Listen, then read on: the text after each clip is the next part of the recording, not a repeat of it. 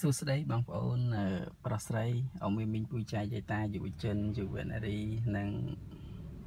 យុវតីទាំងអស់ដែលទៅតែនឹងអ្នកខ្លះគាត់ចង់ស្វែងយល់ថាតើយើងឡានកាមេរី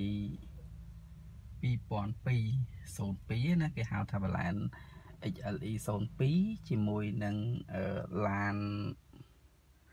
កាមេរី LE ហ្នឹងវាខុសគ្នាយ៉ាងម៉េចបាទ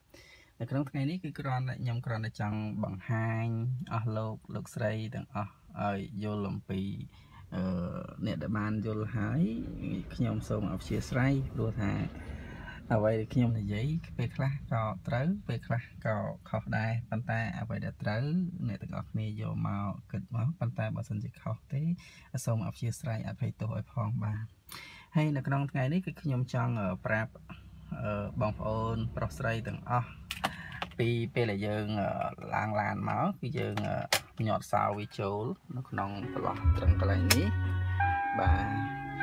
អញ្ចឹងយើងនឹងឃើញភ្លើងបាទនេះគឺយើងអត់ទាន់បានបើកទេយើងនឹងឃើញភ្លើងមួយចំនួនបាទ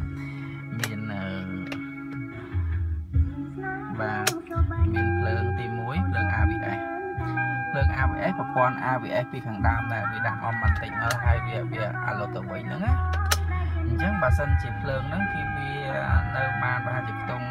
2វិនាទីឯងហើយលឿនមែនតើយើងរាប់1 2 3រត់ផ្លឹបតែម្ដងណាភ្លើង ABS ដែលខ្ញុំនេះមកមិញហ្នឹងអញ្ចឹងបើសិនជាវាភ្លឺរហូតបាទវាភ្លឺរហូតមានន័យថាឡានរបស់យើងហ្នឹងវាវាមានបញ្ហាហើយមានបញ្ហាត្រង់ថាមានបញ្ហាជាមួយនឹង ABS ហ្នឹង